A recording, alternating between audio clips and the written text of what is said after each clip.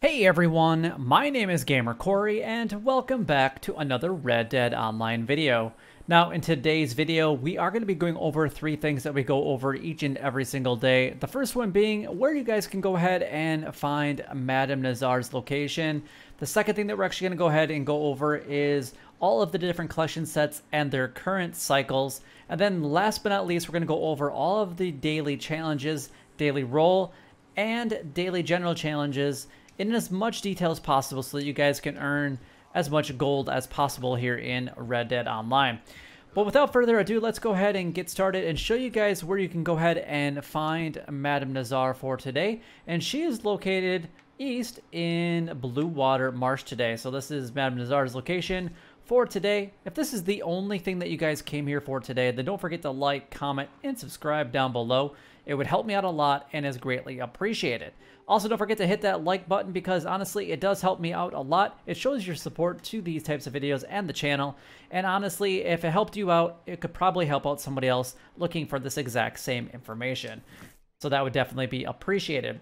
All right, so let's go ahead and move on to the next thing. But before we actually do that, I do want to talk a little bit about live streaming. I do live stream every Monday, Wednesdays, and Fridays. So definitely make sure that you guys are checking that out. Those times are listed on my website, which is gamercory.com. I've had a lot of people telling me that they've missed the notifications because they're subscribed with all bell notifications on. So if you guys want to make sure that you guys are knowing what times I go on, go live on each of those days, those times are accurate and they will be accurate the day that I post it. So uh, just check Monday, Wednesdays, and Fridays, and you're going to be good to go. I also do live stream from time to time on other days as well, so you guys hopefully will get that notification when I do go live if you subscribe to the channel. I also have memberships available on the channel if you guys want to go ahead and support me as a creator. It definitely helps me and my family, so definitely do that if you feel that I, uh, I deserve that. All right, so let's go ahead and move on to the collection sets and their cycles. Now, the first thing I do want to mention about these is they do change every day at 8 p.m.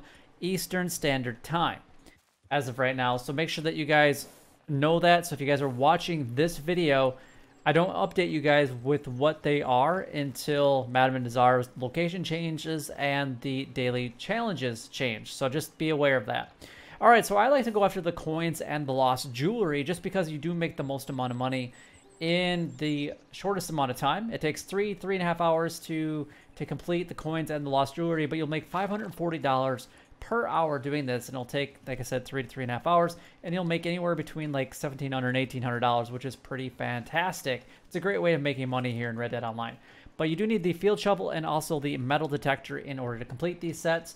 The coins are going to be a part of cycle number two, and the lost jewelry will be a part of cycle number one for today. Now, we also have arrowheads and family heirlooms, which will require the field shovel and also the metal detector. So arrowheads will be a part of cycle number five, and the family heirlooms will be a part of cycle number six.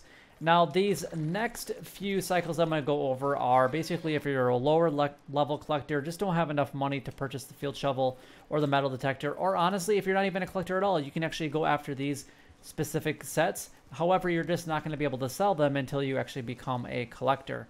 So that's going to be the American flower, flower, Wildflowers. That's going to be a part of cycle number five. The tarot cards, which are also going to be a part of cycle number five the antique alcohol bottles, also part of cycle number five, and then the bird eggs will be a part of cycle number one for today.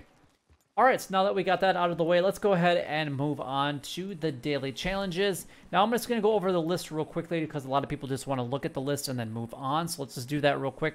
We have one channel catfish caught. We have three cooked seasoned succulent fish. We have one finish showdown in elimination series, five non-player enemies killed from the hip, three sockeye salmon caught, one used an emote on a local, and then five wild mint picked. And then of the role or challenges for today, we have two moonshine bar drunken player interactions, two or four moonshine served to another player at bar.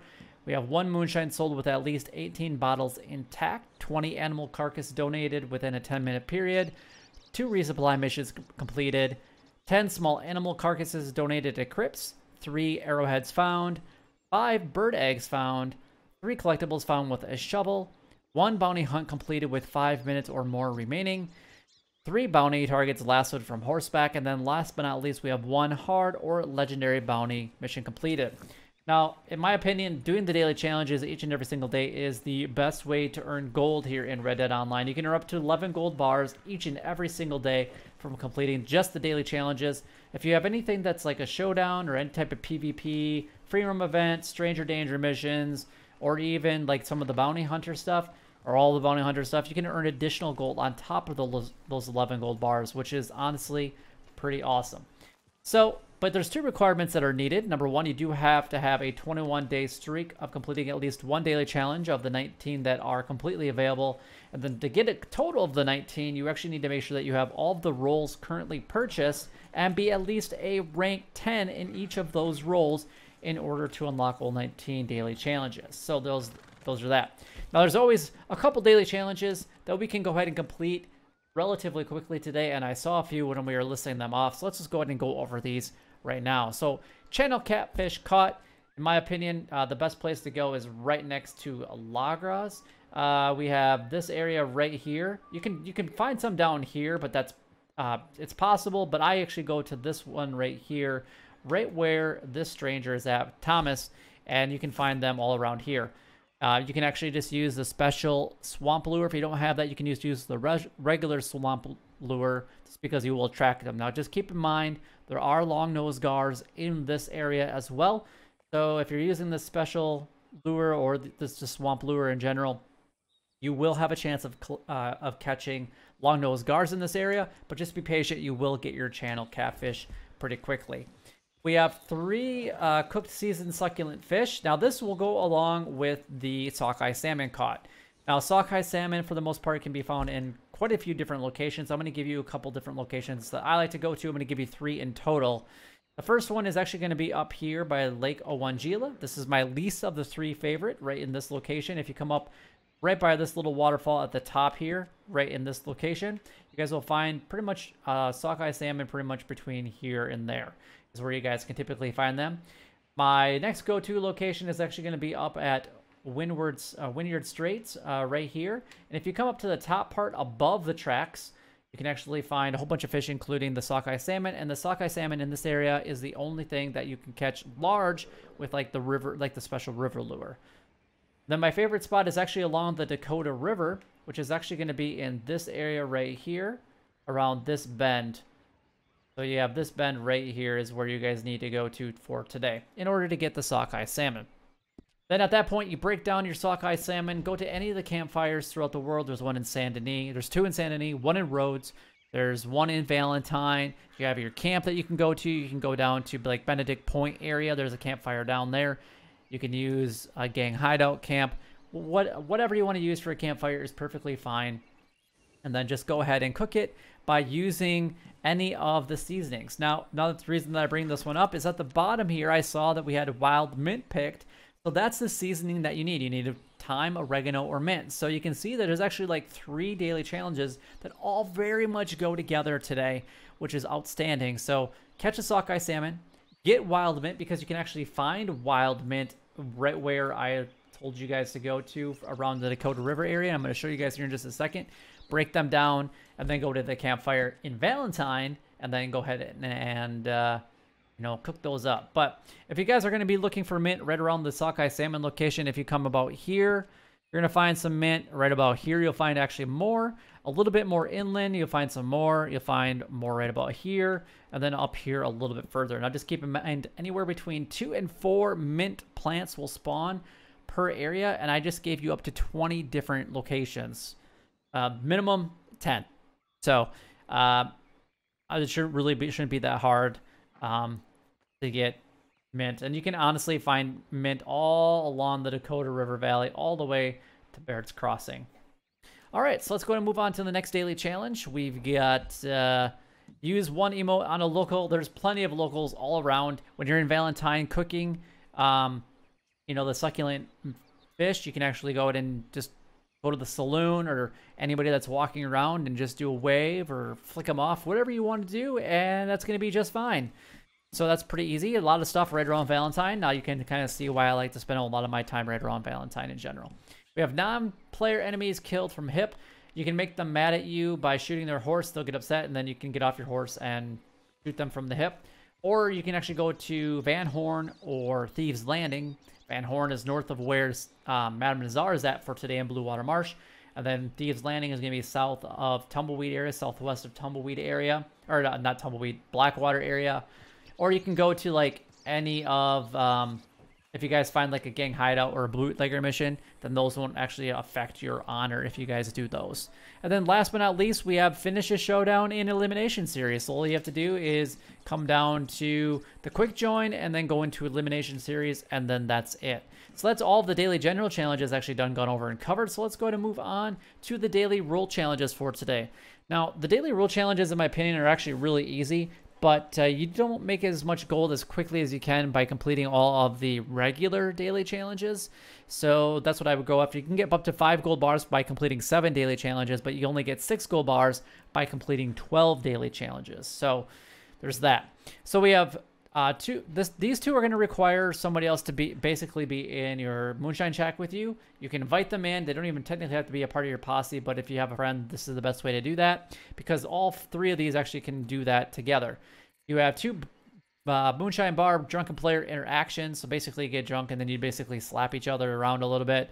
You can serve that other player four drinks at at the bar.